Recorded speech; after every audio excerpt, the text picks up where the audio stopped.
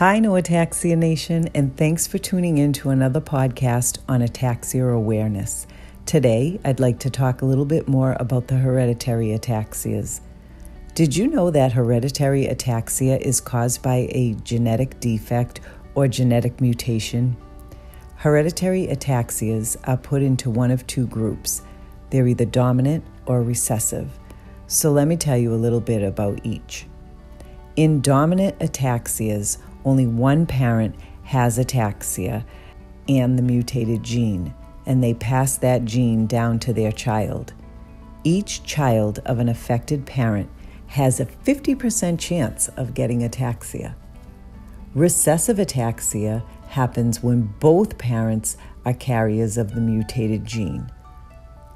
So the child has a 50% chance of just being a carrier of ataxia.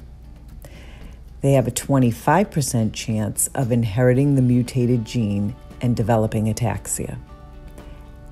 They also have a 25% chance of not inheriting the mutated gene at all, and in that case, they would neither be a carrier nor affected by ataxia. Imagine that. Thank you for listening in to the Did You Know podcast with your host, Dana Mauro. Please subscribe to this channel to hear all of the latest podcasts.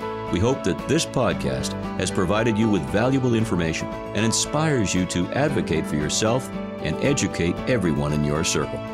Remember, you are the expert and best spokesperson for your rare disease.